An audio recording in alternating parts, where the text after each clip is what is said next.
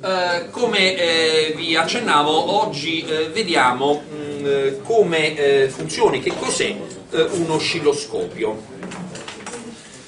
L'oscilloscopio nasce fondamentalmente per andare a riportare su uno schermo XY un andamento di un segnale in funzione del tempo. Quindi, mentre fino adesso abbiamo studiato eh, strumenti che misurano, eh, nel gergo si chiama misurare nel dominio delle ampiezze. Che vuol dire misurare nel dominio delle ampiezze? Eh, un multimetro mi dà il valore se è una tensione continua, il valore dell'ampiezza del segnale di tensione continua. Se è una tensione alternata mi darà il valore efficace, il valore massimo, cioè sono tutti strumenti che, dato un segnale variabile nel tempo, mi tirano fuori un parametro legato all'ampiezza del segnale. Poi, ripeto, ampiezza in senso lato può essere valore efficace, può essere valore medio e così via. Eh, esistono altri due domini in cui posso fare misure quello di cui ci occupiamo oggi è il dominio del tempo, nel senso che io vado a vedere non solo l'ampiezza, ma come varia l'ampiezza di un segnale nel tempo. Esiste un terzo dominio in cui facciamo misure, che è un dominio di cui non ci interesseremo in questo corso, che è il dominio delle frequenze nel senso che ci potrà anche interessare non solo vedere come variano le ampiezze in funzione del tempo, ma come l'ampiezza di un segnale varia al variare della frequenza, qual è il contenuto spettrale di un segnale.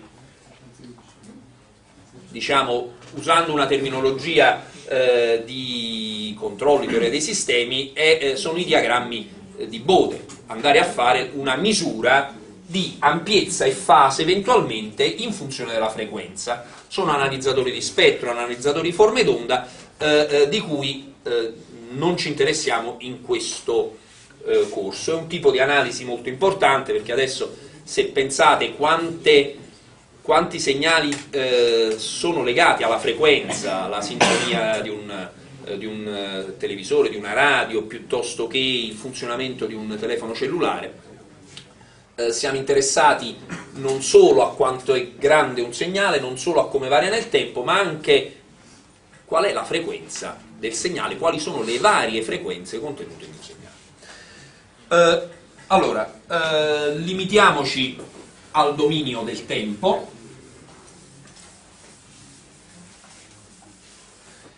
e eh, vediamo in che modo eh, possiamo andare a riportare su uno schermo che è un quadratino di una dimensione eh, 10 cm x 10 cm o poco meno eh, l'andamento di un segnale nel tempo. Eh, eh, io uso il termine segnale in senso generico. In realtà questo è uno strumento che riporta sullo schermo eh, l'andamento di una tensione in funzione del tempo. Però, eh, se voi pensate ad esempio che se la tensione è la caduta di tensione su una resistenza di valore noto, eh, l'andamento di questa tensione nel tempo non è l'andamento della tensione, ma è l'andamento della corrente nel tempo perché se la tensione è la caduta di tensione e la resistenza è nota, posso vedere anche l'andamento di una corrente. Eh, se ho, sono stato in grado di trasformare in una tensione un'altra grandezza fisica, una pressione, una temperatura, la trasformo in tensione, dopo averla trasformata in tensione la posso vedere su un oscilloscopio. Quindi è vero che l'oscilloscopio vorrà in ingresso una tensione, ma tramite un opportuno condizionamento, tramite un opportuno circuito che mi trasforma in tensione un altro segnale, io potrò vedere sull'oscilloscopio grandezze di vario tipo.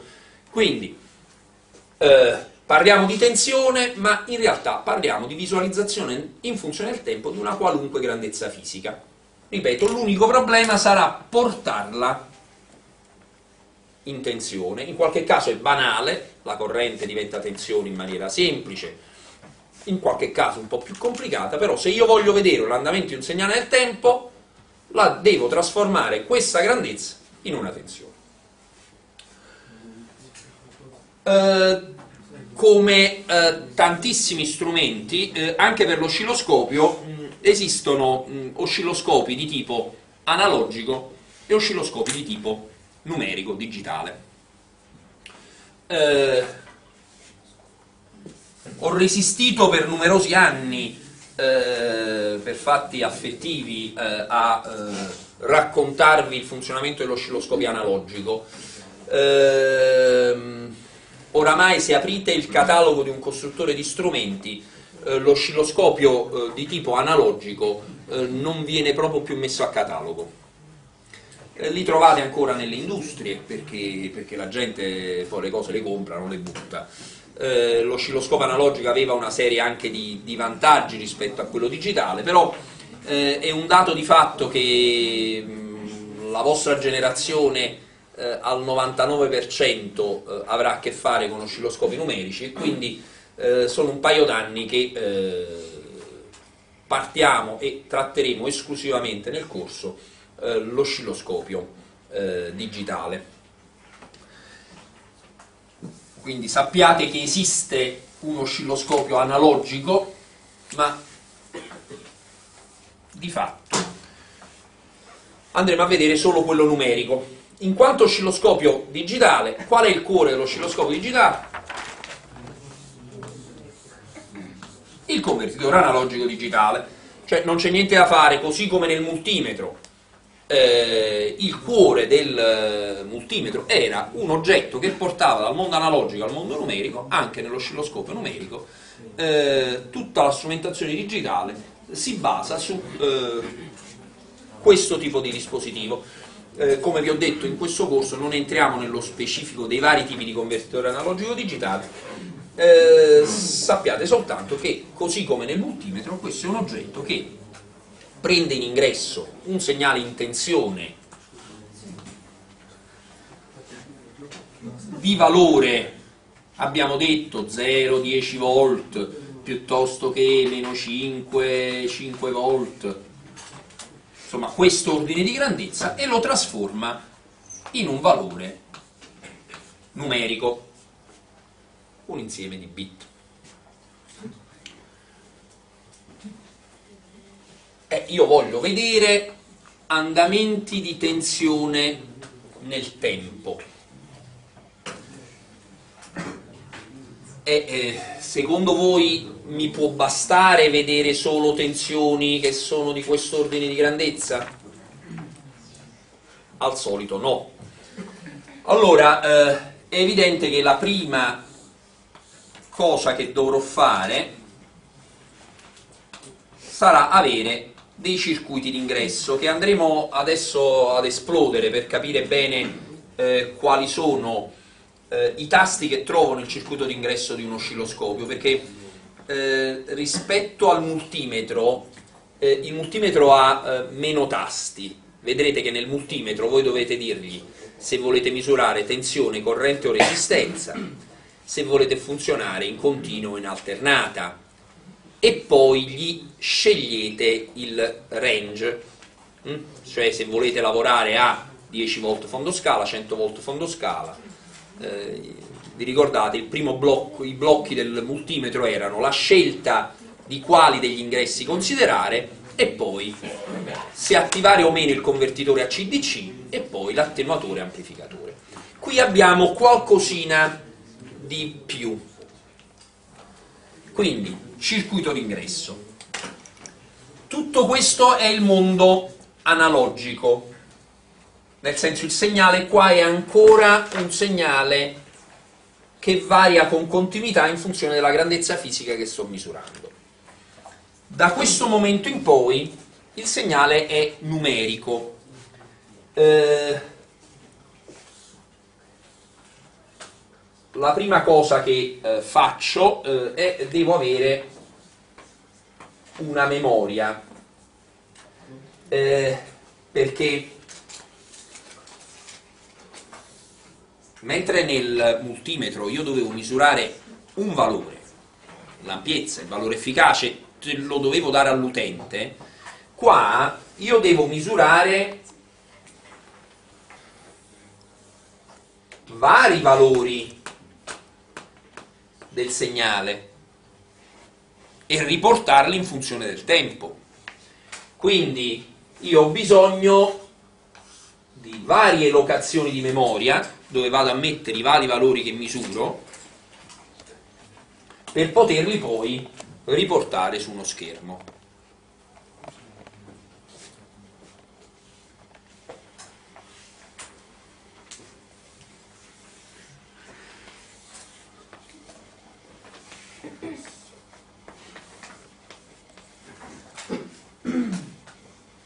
Nello strumento è presente sicuramente un bus di comunicazione, il termine bus è un termine molto utilizzato in ambito eh, hardware, di, eh, eh, informatico, computer, è, mh, mm, intendetelo come un insieme di fili, un insieme di fili in cui afferiscono in parallelo una serie di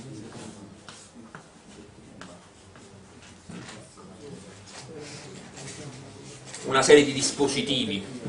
Se voi prendete un computer, i vecchi computer erano un po' più, eh, più si vedeva meglio il bus, quando avevate i vecchi sca scatolotti dei vecchi computer, avevate le schede messe e sul fondo, sul backplane del computer avevate proprio questi fili dove vedevate eh, le schede a ferire.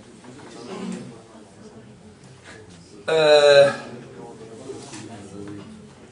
a questo bus.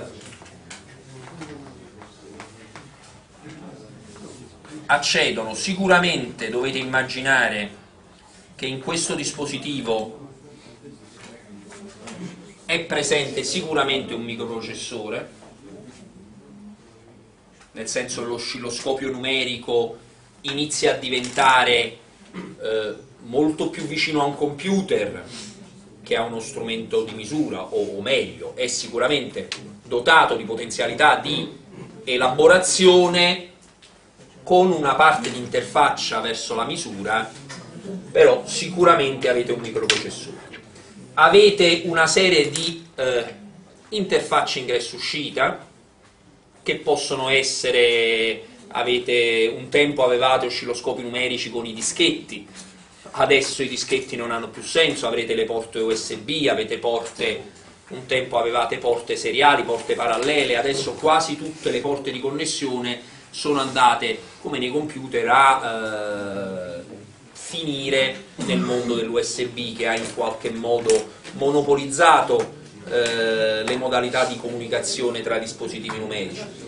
Potete avere interfacce I.O. di tipo wireless, Bluetooth piuttosto che Wi-Fi. Quindi diciamo, una volta che il segnale è diventato numerico, una volta che il segnale è diventato una serie di bit, potete immaginare una, una comunicazione come qualunque dispositivo digitale più raffinato. Perché queste cose non le abbiamo evidenziate nel multimetro?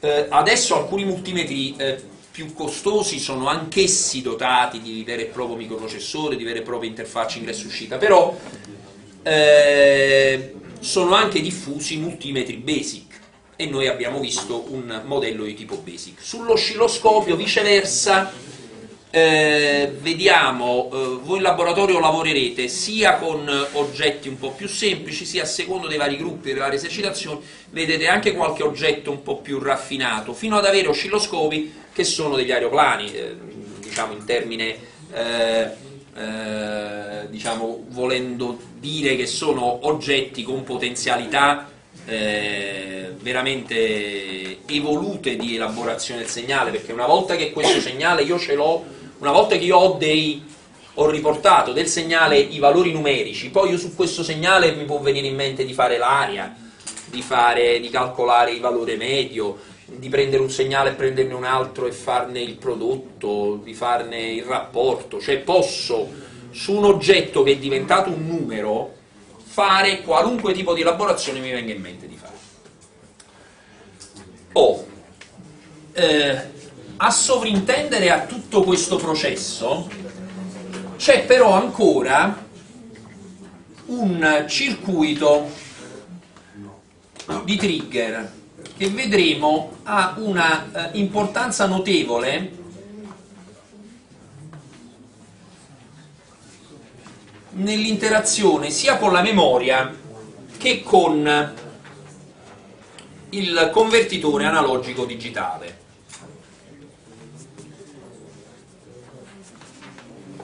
Nel bus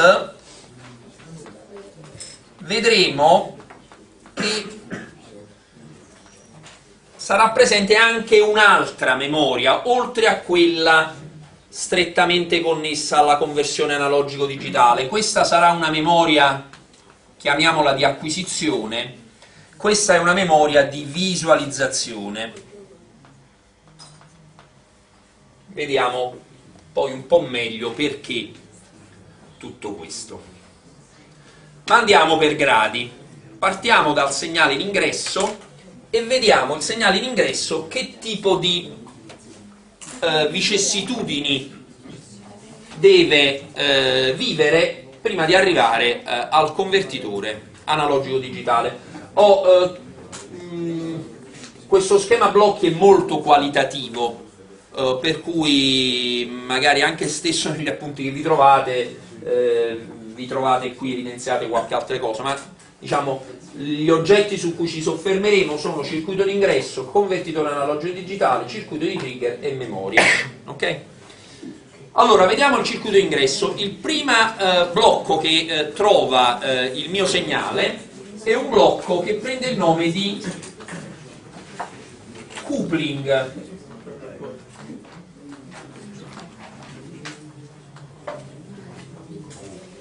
Coupling eh, vuol dire eh, accoppiamento. E vediamo che il mio segnale può andare direttamente agli stati successivi oppure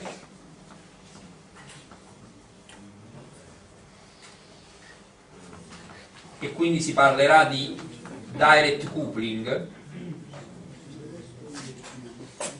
il mio segnale può procedere ma dopo essere passato per un condensatore,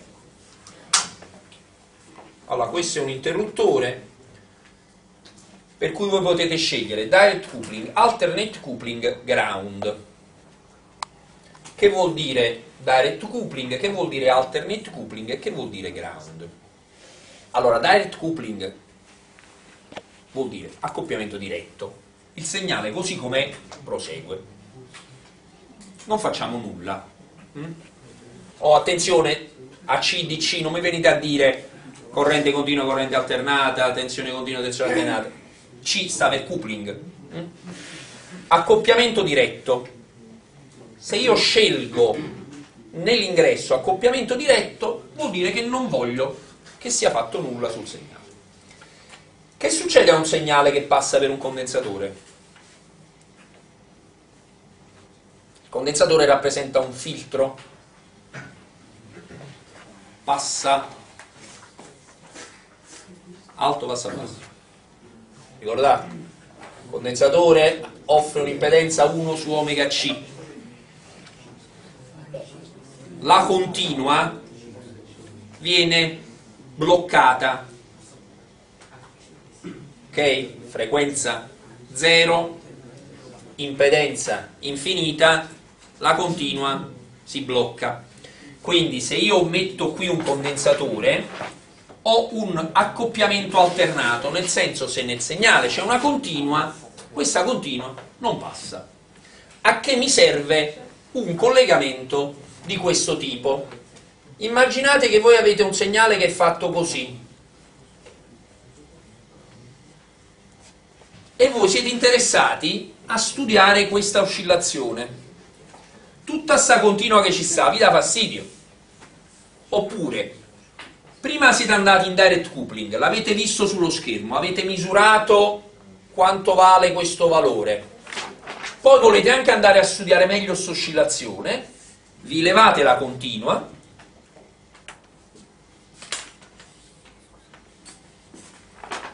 come vedremo tra un attimo poi posso amplificarla e mi vado a sfruttare bene lo schermo perché poi voi sempre avete uno schermo davanti che è, vi ho detto, 10 cm per 10 cm per cui alla fine se dovete vedere anche la continua questa oscillazione la vedete piccola piccola.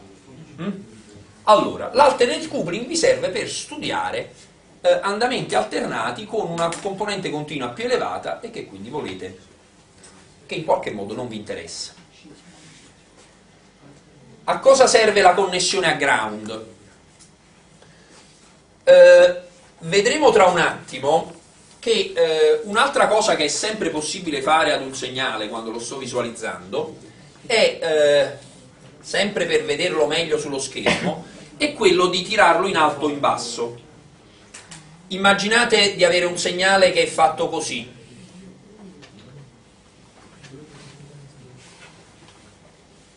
Mm? Per vederlo bene sullo schermo vi conviene traslarlo verso il basso, in maniera che lo traslate verso il basso e poi lo amplificate, sempre con l'obiettivo di leggere al meglio. Vedremo che tra, tra un attimo che leggere al meglio vuol dire fare una misura con migliore precisione. Siccome è uno strumento di misura in cui quello che legge è l'occhio umano, in realtà vedrete che, eh, che lo strumento è anche dotato di eh, cursori, di capacità di leggere lui da solo senza pensare all'occhio umano, però comunque vedere le cose meglio vuol dire fare le misure meglio. Allora, immaginate che avete sullo schermo un segnale fatto così. Come distinguete un segnale che vedete così perché ha valor medio nullo o un segnale che è così perché era traslato e l'avete portato voi giù. Come lo fate a distinguere? Allora, la cosa che generalmente si fa, prima di iniziare la misura, mettete l'ingresso a zero.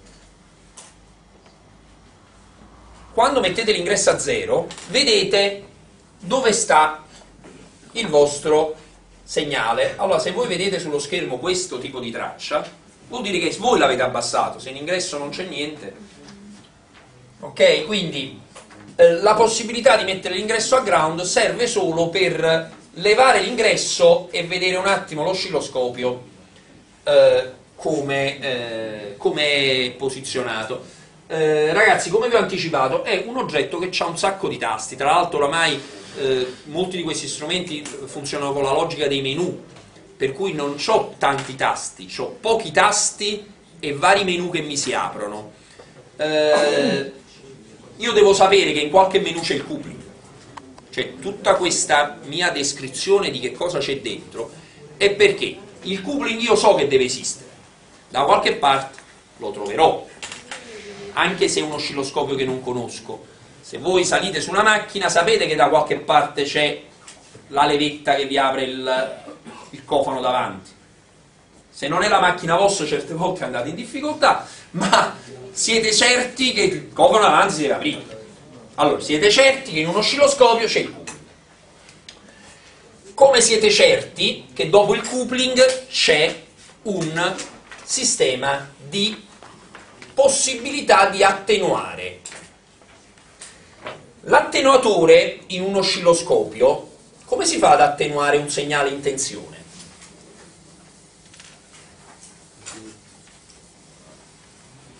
Allora, il modo più semplice di attenuare un segnale in tensione, l'abbiamo già accennato la volta scorsa, in una delle lezioni precedenti, è quello di usare un partitore di tipo resistivo.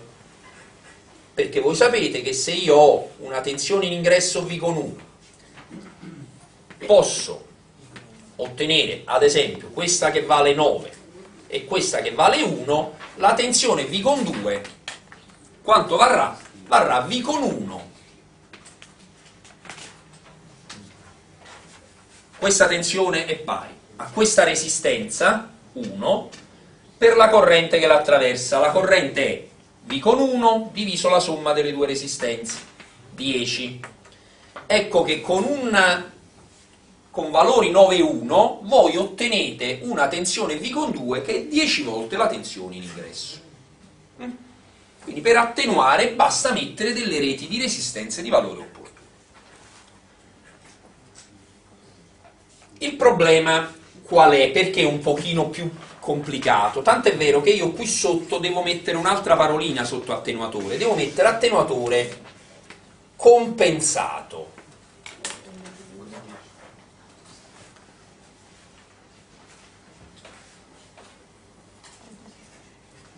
Il mio problema è che io con gli oscilloscopi voglio riportare sullo schermo andamenti del segnale anche con forme strane, contenuti armonici particolari. Mm? Vuol dire che io devo avere che V con 2 è un certo, una certa attenuazione rispetto a V con 1 con K che è costante qualunque sia la frequenza della mia V con X.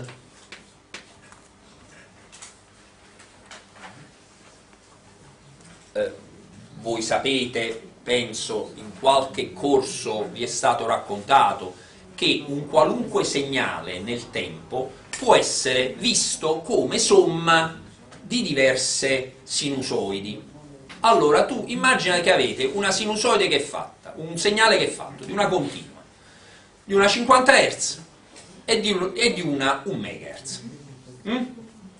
Se voi avete 100 volt fatte un po' di continua, un po' di 50 Hz, un po' di 1 MHz e la volete riportare a 10 volt, la volete dividere di 10, voi dovete dividere di 10 la continua, la 50 Hz e 1 MHz o di 9 ma continua, ma 50 Hz e la 1 MHz, cioè l'attenuazione deve essere la stessa per tutte le armoniche, altrimenti il segnale non viene solo attenuato, viene anche distorto. E quindi voi vedete sullo schermo un oggetto che non è identico a quello di partenza, voi dovete avere la possibilità di scalare, ok? Scalando tutte le sue componenti armoniche. Allora, dovreste mettere o dei resistori che hanno un valore costante qualunque sia la frequenza. In realtà eh, il problema è che eh, in questi circuiti dovete sempre immaginare che si annidano degli accoppiamenti parassiti, c'è sempre nascosta qualche capacità che vi dà fastidio. Allora cosa succede se qua avete una capacità parassita, quindi che non conoscete? In continua quant'è il rapporto di attenuazione? Allora se rimettiamo, leviamo i numeri e rimettiamo R1 e R2.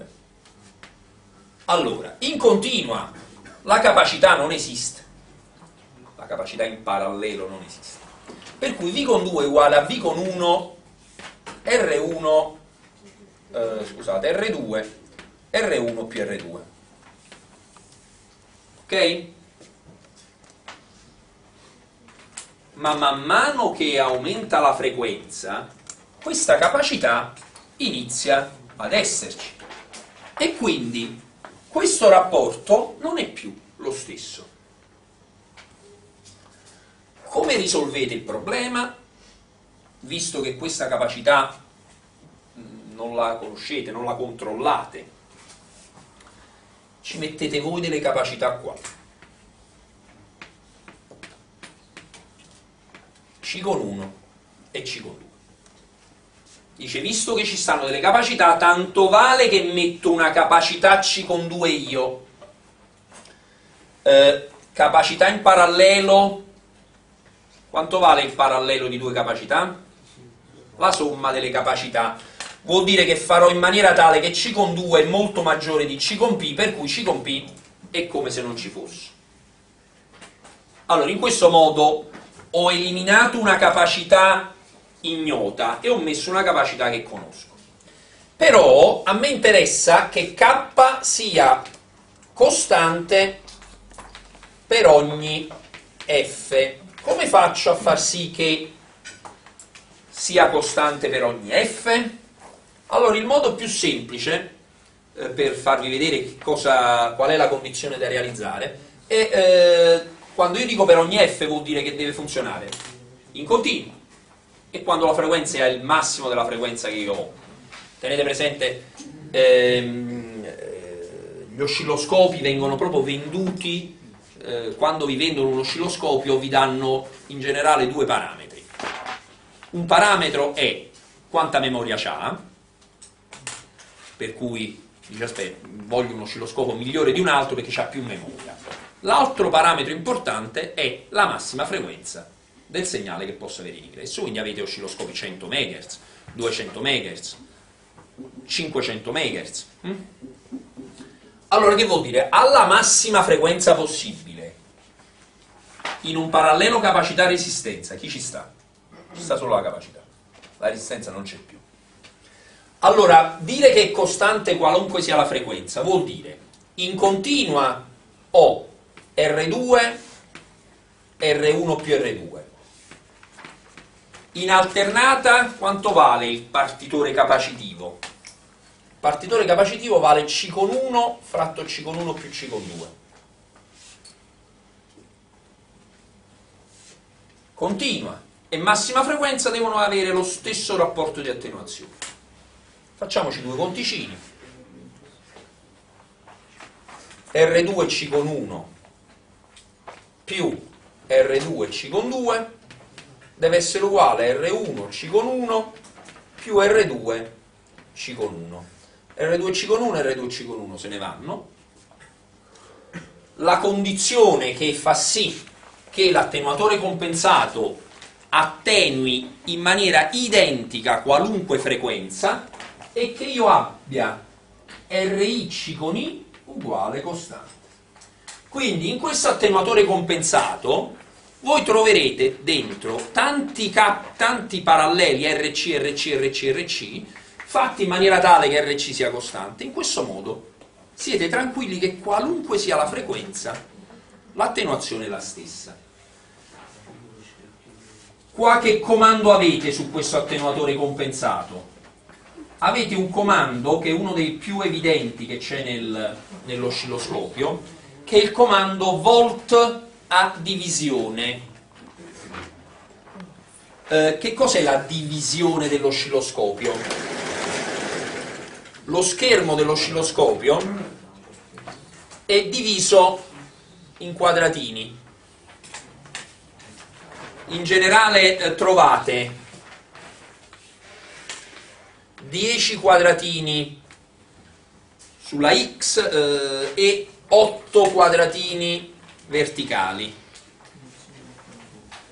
La divisione si chiama divisione il lato di questo quadratino. Quindi se io dico che quel comando ha scelto un volta divisione, che sto dicendo? Sto dicendo che ognuno di questi quadratini verticali vale un volt. Quindi se ho un segnale che è fatto così, che va da qua a qua, vuol dire che ha 3 volt picco picco, perché ogni quadratino vale un volt.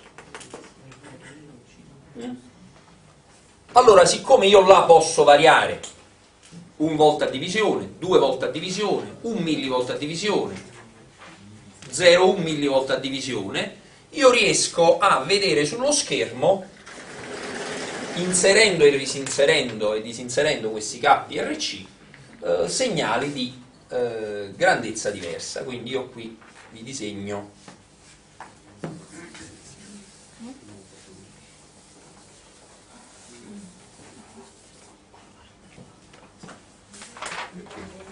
me ne disegno uno solo di, di RC, ma ne abbiamo un certo numero.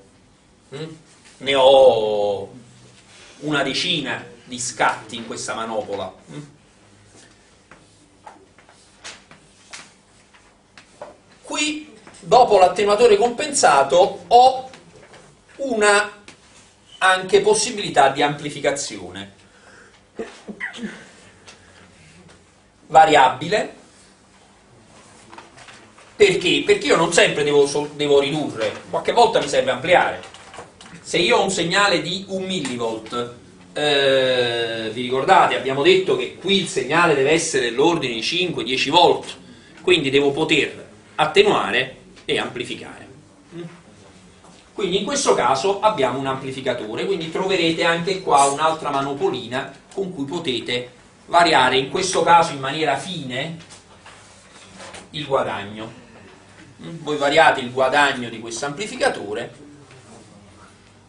e quindi vedete sullo schermo il segnale che cresce o decresce.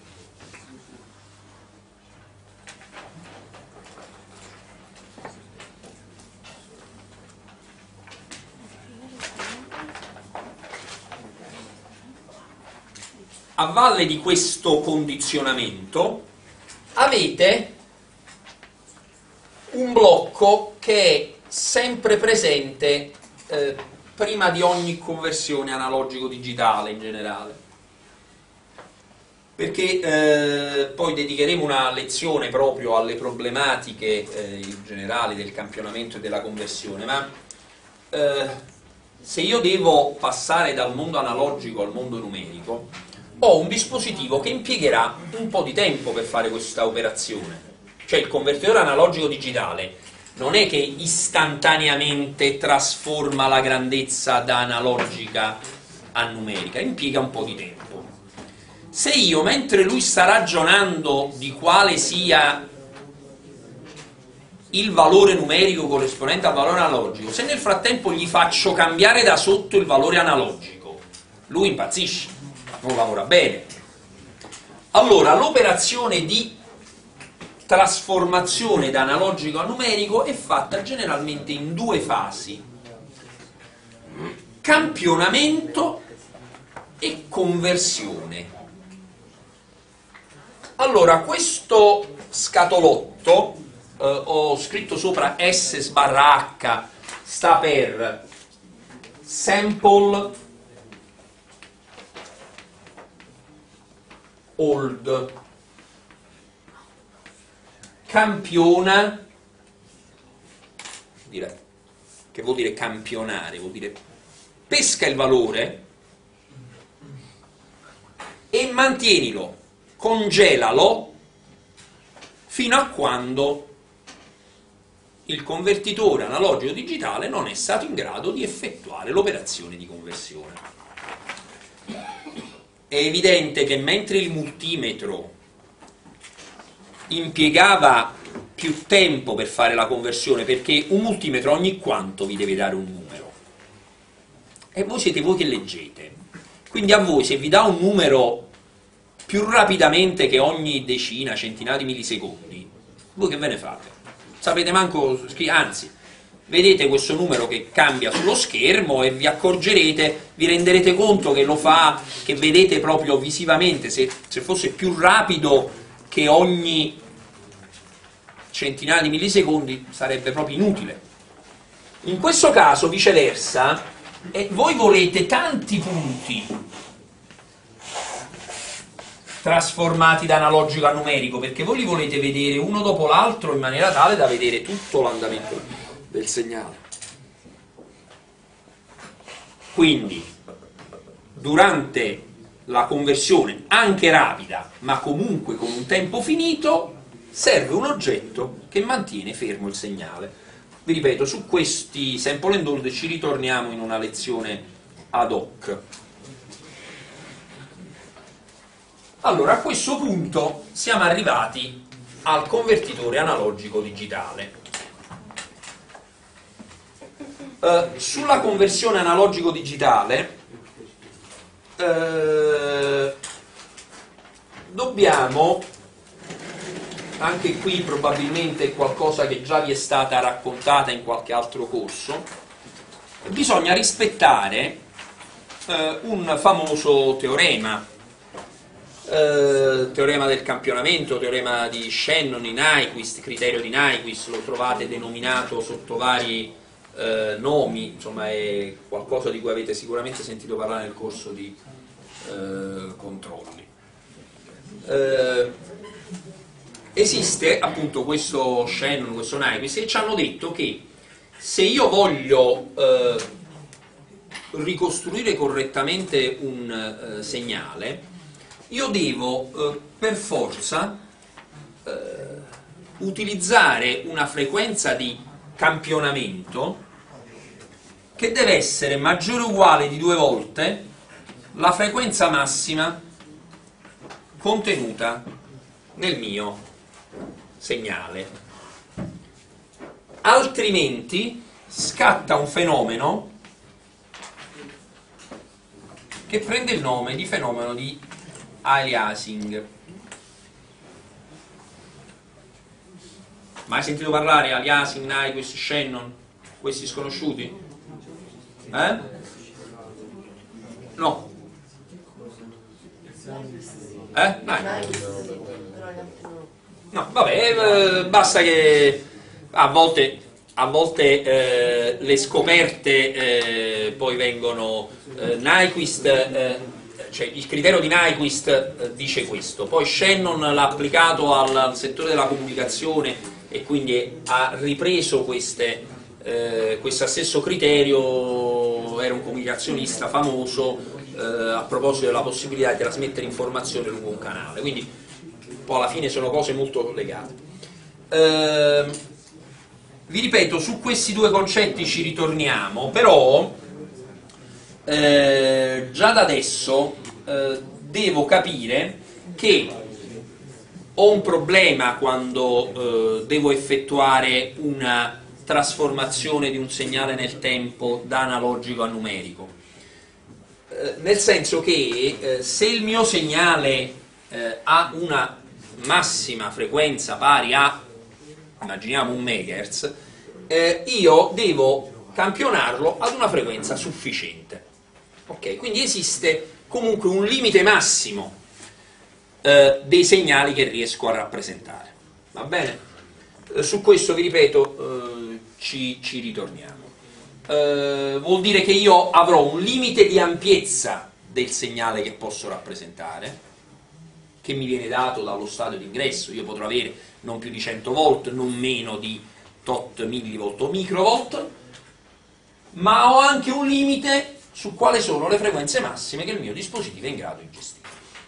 Ok?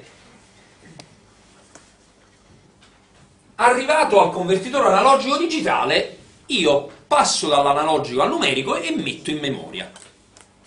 Questa memoria, l'abbiamo detto un attimo fa, non è una memoria infinita, è una memoria limitata. La memoria degli oscilloscopi eh, è gestita, eh, si, trovate scritto nei testi, è una memoria circolare. Attenzione, non è che trovate dentro all'oscilloscopio un, un salsicciotto che è la memoria, è il modo con cui è gestito, cioè la, il banco di memoria ha una gestione concettualmente di tipo circolare. Che vuol dire? Che vuol dire circolare? Che voi mettete un campione, poi mettete il successivo, poi mettete il successivo, riempite la memoria. Cosa succede quando la memoria si è riempita tutta?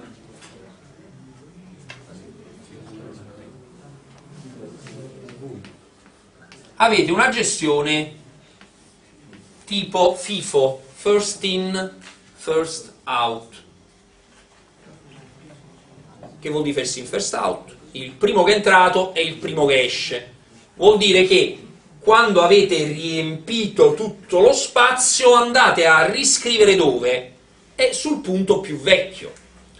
Cioè voi state, immaginate che state disegnando il vostro segnale sullo schermo e se arriva qualcosa più recente cosa perdete? Buttate via quello che è più vecchio.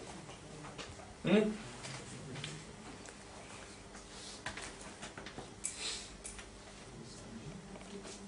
Allora immaginate che voi avete eh, un segnale mettete il più nuovo, perdete il più vecchio e quindi vedete questo segnale che scorre sullo schermo.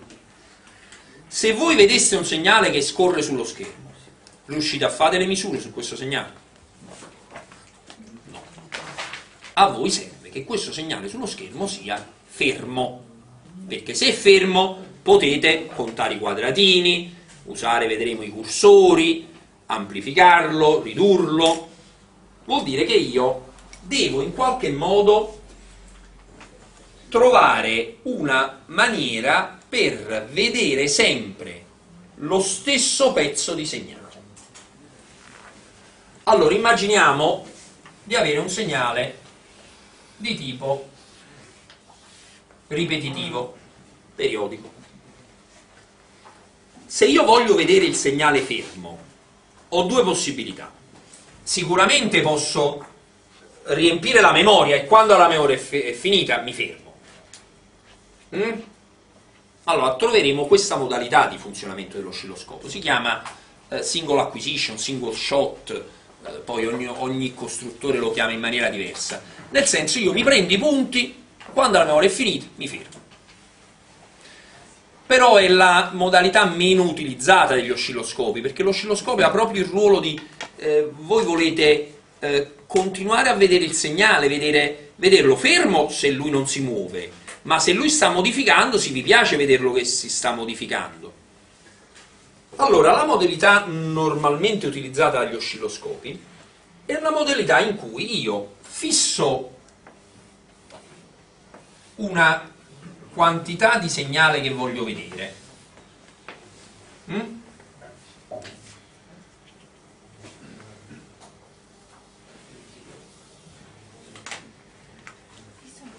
Come faccio a vederlo fermo? Lo vedo fermo se fotografo il segnale in questo momento, poi siccome è un segnale periodico, se riesco a fare delle foto successive del segnale che partono dallo stesso punto da cui erano partite prima. Vediamo se vi faccio capire meglio.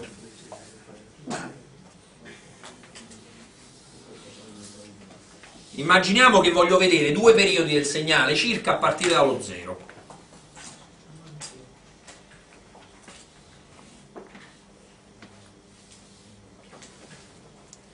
Ok?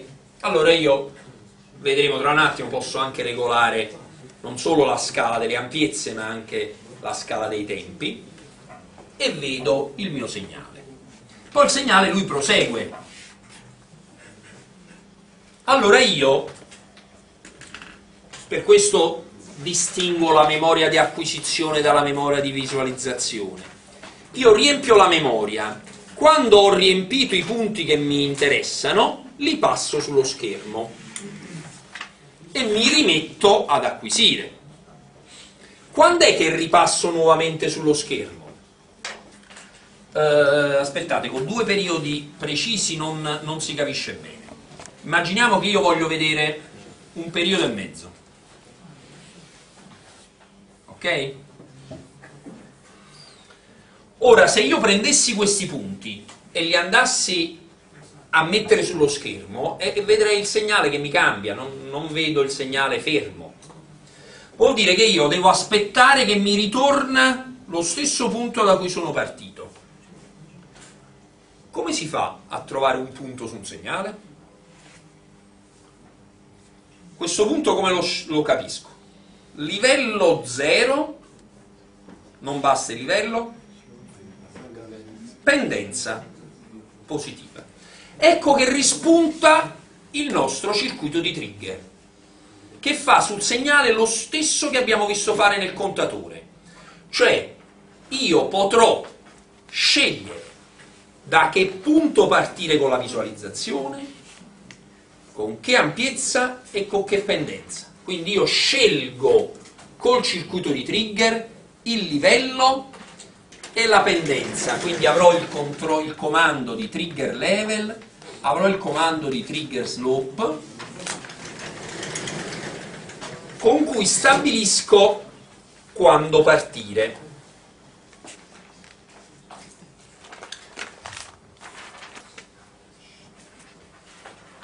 In realtà eh, in questi strumenti eh, io posso anche non solo stabilire quando partire, ma l'istante di trigger, cioè il punto di riferimento, posso anche decidere che non mi interessa sia il primo punto dello schermo,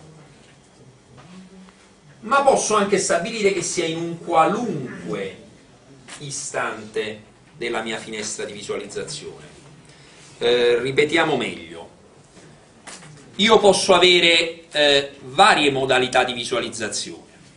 Una modalità completamente post-trigger, nel senso, fin quando il segnale non raggiunge il livello che gli ho detto e la pendenza che gli ho detto, io non sono interessato.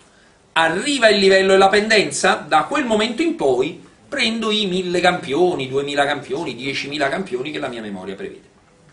Quindi tutto post trigger. Posso anche, ad esempio, invece, essere interessato a vedere tutto fin quando il segnale non raggiunge il livello della pendenza che ho scelto. Quindi vedere tutto in modalità pre-trigger. Oppure, poiché la mia memoria ha n locazioni, l'istante di trigger lo posso piazzare al 325 campione, al terzo, al ventottesimo, ok?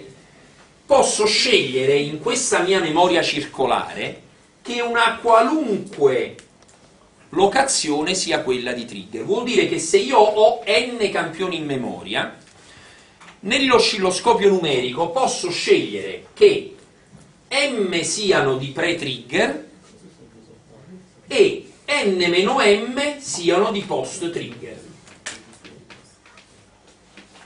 Ok?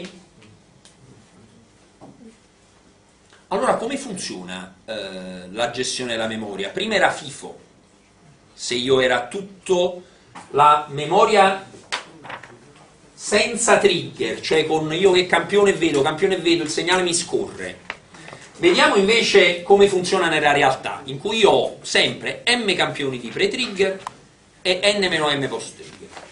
Allora io sto lì e acquisisco, il mio convertitore, il convertitore non sa fare altro che acquisire, si mette là, tu, tu, tu, trasforma, trasforma solo. E riempio questa memoria. Immaginiamo che su istanti trigger non arriva. Immaginate che voi avete scelto di che l'istante di trigger è questo zero negativo e state qua. Mm. Prendete punti, prendete punti, prendete punti, prendete punti, ancora non arriva lo zero pendenza negativa. Prendete punti, prendete punti, prendete punti, prendete punti. E che succede? Che quando avete riempito gli m punti, li gestite FIFO. Buttate il più vecchio e riempite il nuovo, buttate il più vecchio e riempite col nuovo, buttate il più vecchio e riempite il più nuovo, fin quando non arriva l'istante di trigger. Allora, il vecchio m punti li avete e dovete prendere i valori successivi al trigger, m-n. Riempite gli m-n, quando gli n punti sono finiti, che fate? Andate in visualizzazione. Ok? Sto dicendo che il pre-trigger è gestito in modalità first in, first out, cioè avete fissato che volete m punti di pre-trigger, 1 o 10.000, vi mettete lì e li riempite fin quando non vi arriva l'istante di trigger. Al momento in cui vi arriva l'istante di trigger, finite di riempire la memoria e poi fermate. Quindi la parte post-trigger non è in modalità FIFO, e in modalità si dice sequenziale, cioè io la riempio, poi una volta che è finita è finita. E li metto nella memoria di visualizzazione fin quando non viene riempita nuovamente la memoria di acquisizione e ho una successiva fotografia che siccome l'ho fatta identica all'altra, cioè l'istante di trigger è lo stesso, il segnale è ripetitivo, io avrò sempre la sensazione di avere un segnale che sta là fermo. In realtà l'oscilloscopio non è fermo, ma sta continuamente acquisendo segnali, solo che siccome me, il segnale è stabile e me lo va a rimettere nello schermo nello stesso punto di prima, io avrò un segnale fermo sullo schermo. è come se io facessi un fotomontaggio, però di un oggetto fermo. Se l'oggetto è fermo, vedo sempre la stessa immagine. Se l'oggetto si inizia a muovere perché il segnale leggermente si muove, e, e vedrò sullo schermo eh, il movimento di questo segnale. Poi a seconda delle applicazioni posso essere interessato a, a capire, a fare le misure sull'intero segnale, sul segnale che evolve, ma questo lo si vede più facilmente. Eh, vedete, in laboratorio noi faremo due esercitazioni sull'oscilloscopo, quindi giocherete con l'oscilloscopo per 4 ore, proprio con l'obiettivo di, di, farvi un po' vedere eh, le varie situazioni che vi possono capitare al di là di quello che è poi l'aspetto teorico. Eh, questo modo di funzionare dell'oscilloscopio è eh, quello che eh, prende il nome di eh, funzionamento in real time, in tempo reale.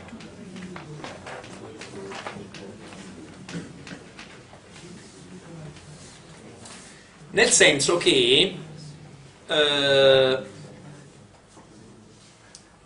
vedo quello che sta succedendo. Mm? Non c'ho... Qual è il limite del real time? L'abbiamo detto, il limite del real time è eh, Nyquist. Mm? Cioè, se io ho un convertitore analogico digitale che ha una frequenza di campionamento massima di 1 GHz, io posso vedere e trattare bene segnali fino a 500 MHz. Eh, in realtà la cosa è un pochino più eh, meno rosea di come ve l'ho raccontata, nel senso eh, Shannon vi ha descritto un teorema che vale dal punto di vista matematico, cioè dice che se io ho due campioni per periodo riesco a ricostruire correttamente il segnale. Eh, secondo voi, se voi avete un segnale così e avete un punto qui e un punto qui, voi riuscite a capire qual è il segnale di partenza? E eh, Shannon dice che voi ci riuscite. Io vi dico che non si riesce, cioè sullo schermo, se voi, eh, voi eh, lo strumento vi prende i punti, per vedere voi dovete avere qualche punto se no sullo schermo non vedete niente. Mm? Allora in realtà, in realtà quello che succede è che vi servono 4-5 punti a periodo. Mm? Quindi la situazione è anche un po' peggio di come, di come la matematica, cioè questo è uno di quei classici casi in cui mi rendo conto che i teoremi matematici mi dicono una cosa, poi quando devo far funzionare gli apparati reali mi rendo conto che una cosa è che io matematicamente riesco a ricostruire il segnale, se lo voglio vedere lì al momento, la matematica mi serve a poco. Per fortuna eh, gli oscilloscopi hanno anche un'altra modalità di funzionamento che eh, prende il nome di modalità di funzionamento in tempo equivalente.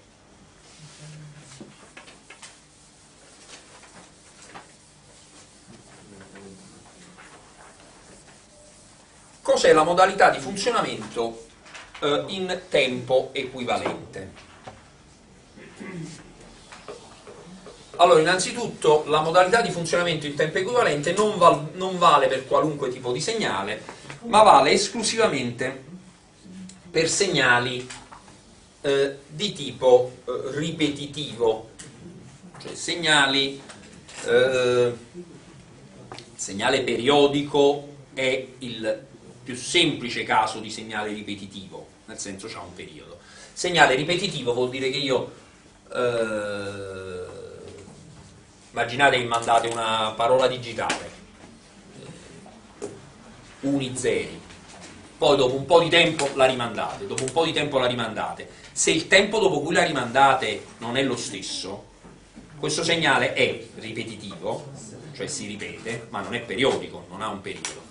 Allora questo eh, questa tecnica va bene per segnali ripetitivi, quindi eh, diciamo è una categoria più ampia dei segnali periodici. Comunque, per capirci, facciamo l'esempio del segnale periodico perché è il segnale più semplice. Allora, eh, abbiamo due modalità di funzionamento in tempo equivalente. Il tempo equivalente sequenziale,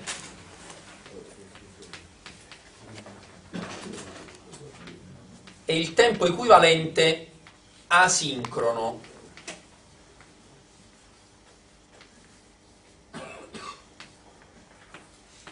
Vediamo cosa vuol dire tempo equivalente sequenziale. Immaginiamo di avere un certo istante di trigger in cui abbiamo preso un certo campione, immaginiamo 0 tendenza positiva. E immaginiamo che questo segnale è molto rapido, quindi io non riesco a rispettare Shannon, non riesco a prendere altri punti nel periodo. Però immaginate che io eh, ogni volta prendo un, segna- un valore dopo un certo numero di periodi e ogni volta spostandomi di una quantità delta t. Immaginiamo, qua ho preso questo punto, qua prendo questo punto, dopo un altro periodo prendo questo punto qui. Sto dicendo che il mio tempo di campionamento è pari ad un certo numero di periodi del segnale più delta t. Vedete quanto passa tra questi due campioni? t più delta t delta t è questa quantità piccolina qua. Quanto passa tra questi due campioni? Ancora t più delta t. Se faccio passare t, arrivo qua, ci sommo delta t, ottengo quest'altro campione.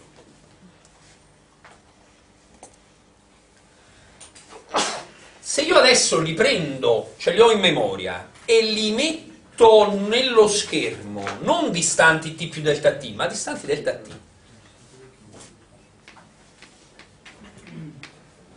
Vedete, poiché il segnale è ripetitivo, io sono riuscito ad avere tanti punti a periodo, campionando però molto più lentamente. Vedete, qua io vi ho disegnato per motivi di lavagna, ho messo n piccolo uguale ad 1, cioè ho campionato i punti dopo un periodo più un certo delta t.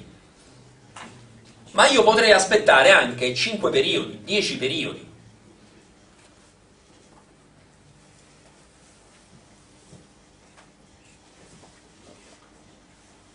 Vedete, funziona ovviamente se il segnale è ripetitivo. Cioè, se il segnale mi cambia, non funziona più.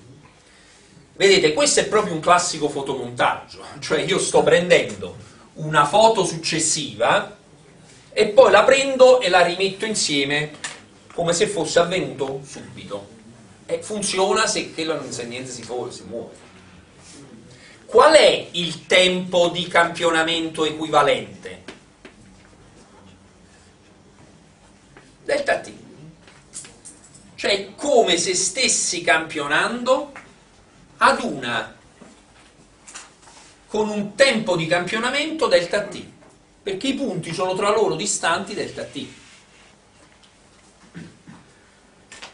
Chi è che mi controlla questo funzionamento? Qual è il circuito che mi consente di capire che sono passati 10 periodi e poi lascio passare un tempo delta t?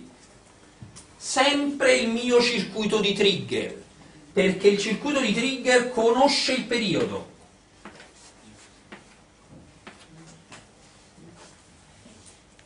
Quindi io, immaginate che devo fare un campionamento ogni 10 periodi. Io aspetto che mi arrivino 10 impulsi di trigger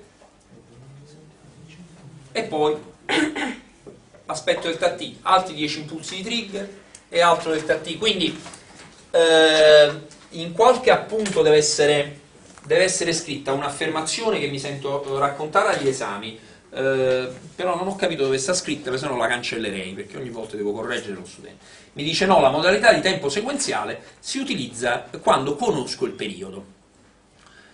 Allora, voi il periodo non lo conoscete mai e lo conoscete sempre. Cioè, voi non lo conoscete mai. Se io, io vi do un segnale nell'oscilloscopio e vi dico quanto è il periodo, voi non lo sapete, dovete andare a fare misure, cioè non lo conoscete mai. L'oscilloscopio il periodo lo conosce sempre, perché ha il circuito di trigger che trasforma il segnale in un treno di impulsi, un impulso a periodo. Quindi l'oscilloscopio il periodo lo conosce sempre. In questo caso lo usa nel campionamento a tempo equivalente asincrono, non lo usa. Ok? Non è che in un caso lo conosce e un altro caso lo conosce, perché mi, eh, lo studente medio mi dice il campionamento equivalente sequenziale è quando conosco il periodo, asincrono è quando non conosco il periodo. Io lo conosco sempre, non lo conosco mai, in un caso lo uso, in un altro caso no. Eh, asincrono, perché dico che non, non utilizzo il periodo? Perché io, perché io, nel caso di tempo equivalente asincrono, campiono eh, usando un termine tecnico, a rocoio coio. Così, metto là e campiono. Come capita? Mm? Eh, eh, però se io prendo un punto qua, poi un punto qua, poi un punto qua, cioè io campiono a una certa frequenza, quindi a una certa distanza fra i campioni. Eh, ma se mi capitano in maniera strana, io poi come faccio a metterli sullo schermo nel posto giusto?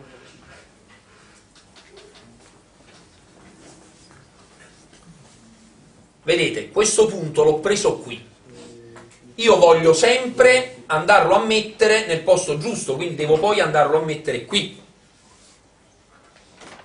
Mm? Come faccio a ricostruire correttamente il segnale nel tempo di campionamento asincrono? Ho un circuito che mi misura la distanza tra il campione e l'istante di trigger. Quindi io devo, eh, vediamo com'è fatta la memoria, no? Nei due casi. Nel tempo reale io i campioni li vado a mettere, abbiamo detto, uno dopo l'altro. Nel tempo di campionamento sincrono o sequenziale, dove vado a mettere i campioni? È sempre uno dopo l'altro, perché il secondo campione sarà quello da mettere subito dopo, il terzo sarà quello da mettere subito dopo, il quarto sarà quello da mettere subito dopo. Nella modalità di funzionamento asincrono, io riempio la memoria andando a posizionare il campione, immaginiamo che questo è l'istante di trigger. Il secondo campione sarà messo ad una certa distanza dal trigger che io ho misurato. Questo è il campione 2. Il terzo campione magari è questo. Ho misurato la distanza dal trigger, è più vicino del secondo e lo metto prima. Allora ho questo circuito che si chiama interpolatore fine, che è un circuito che misura i tempi in maniera molto accurata, riesce a misurare il picosecondo, e quindi lui vede ogni volta qual è la distanza che c'è tra l'istante di trigger interpolatore fine. Vabbè, eh, così, non, tanto non lo vediamo.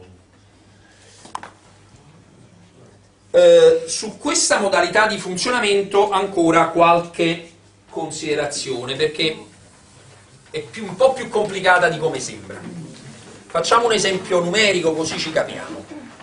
Eh, immaginiamo, allora vi ricordo, lo schermo è fatto di 10 quadratini orizzontali.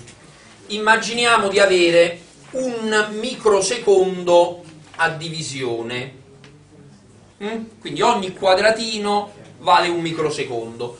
Quanto vale l'intera finestra di osservazione? Vale 10 quadratini, 10 microsecondi. Immaginiamo di avere scelto m punti di pre-trigger ed n-m punti di pre-trigger, metà e metà. Mm, immaginiamo di avere n pari a 1000 1000 punti di memoria, 500 di pre-trigger e 500 di post-trigger. Che vuol dire? Vuol dire che la mia memoria è fatta di 1000 locazioni. La locazione centrale è quella del trigger. Rispetto al trigger che qualcosa vedo?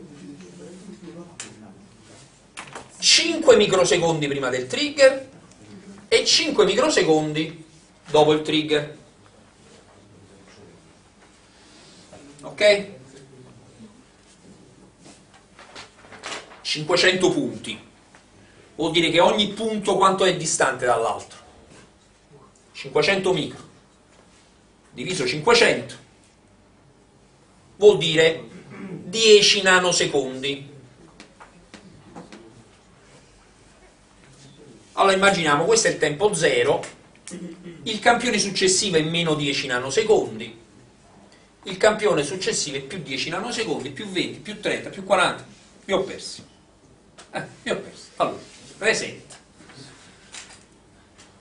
Allora, un microsecondo a divisione, questa è la scala dei tempi e ci siamo. 10 quadratini, 10 microsecondi. Altri dati inventati, ma più o meno credibili, uno, immaginiamo un oscilloscopio che ha una memoria fatta di 10, di, di 1000 locazioni. Mm? Queste 1000 locazioni le devo utilizzare, scelgo di mettere il trigger al centro. Siccome tutto questo tempo di osservazione abbiamo detto che è 10 microsecondi, vuol dire che saranno 5 microsecondi prima del trigger e 5 microsecondi dopo il trigger. Poiché ho 1000 punti, 1000 punti, 10 microsecondi, 1000 punti, vuol dire che ogni punto è distante dall'altro 10 nanosecondi. 10 micro diviso 1000, 10 nano.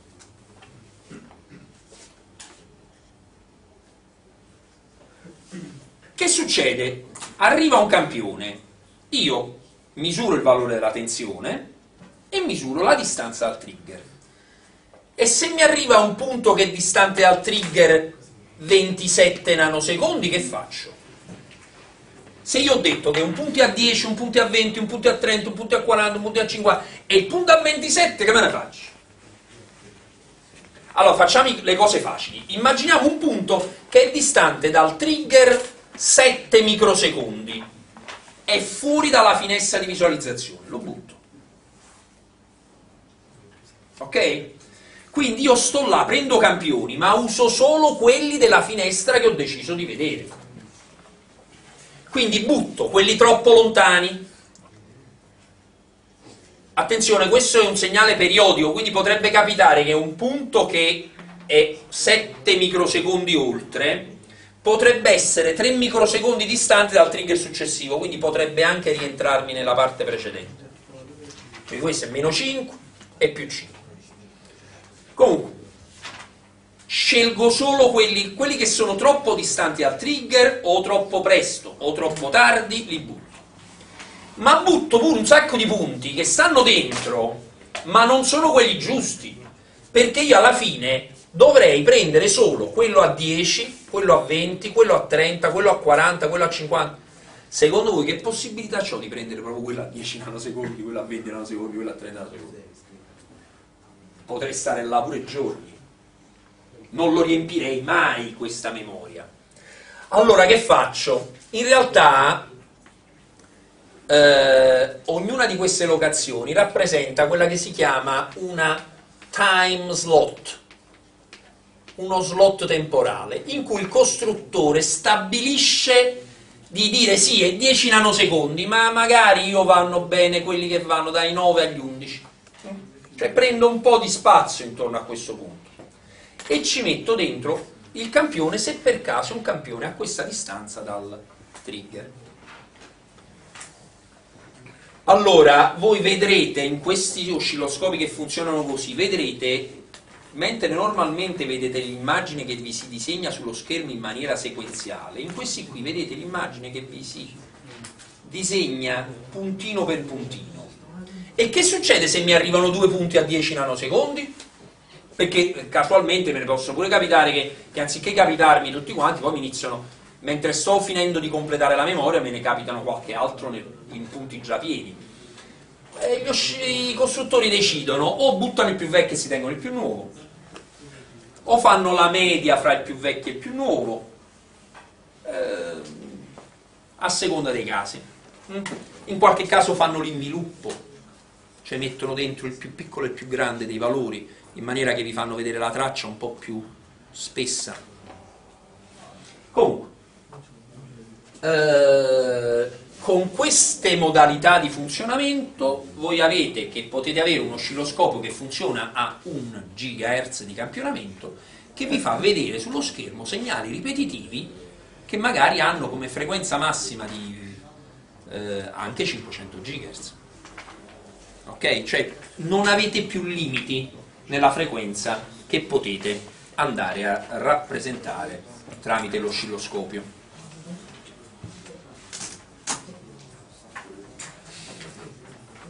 Eh, scoprirete in laboratorio che ovviamente le funzioni che un microprocessore vi può fornire saranno infinite, cioè voi potrete su questo segnale acquisito sono dei numeri, dei numeri su un computer. A dei numeri su un computer potete pensare di fare qualunque tipo di elaborazione. Una sola attenzione, ragazzi, molte delle funzioni che vengono proposte dai costruttori non sono legate al segnale ma a quello che vedete sullo schermo. Che sto dicendo? Immaginate che voi sullo schermo vedete un segnale fatto così. Se voi gli chiedete il valore medio, non vi sta dando il valore medio del segnale, inteso come valore medio del segnale sinusoidale. Quindi vi ricordo che in un segnale sinusoidale il valore medio sarebbe il valore medio di un semiperiodo. Ma lui vi fa il valore medio di quello che vede sullo schermo. Ok? Quindi attenzione, eh, tutte le funzioni che vi vengono fornite automaticamente, oppure immaginate gli chiedete il valore massimo, ma se voi avete sommato una componente continua per vederlo meglio, e lui vi fa il valore massimo, vi fa questa distanza, mica vi fa il valore massimo come questa distanza. Gli oscilloscopi un po' più raffinati hanno sia le funzioni legate al segnale, sia le funzioni legate a quello che vedete. Mm? Quindi un, um, uh, sono oggetti molto sofisticati, quanto più è sofisticato lo strumento che avete davanti a voi, tanto più dovete stare attenti a capire quando vi potete fidare dei numeri.